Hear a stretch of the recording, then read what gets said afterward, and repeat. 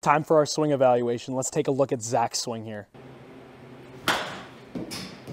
When he goes through his swing, he gets a little too rotational and his hand starts rolling over as well as his hands coming around the ball. So there's one way I'd love to fix this. Here's the drill that I would suggest. Set your feet up at the tee. Your front toe should point at that tee on this front line.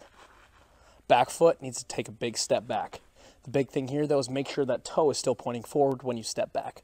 From here, we can't allow our hands to get over this white line. If we could do that, we are getting around the ball. What we need to focus on is pick a spot on the inside part and attack it.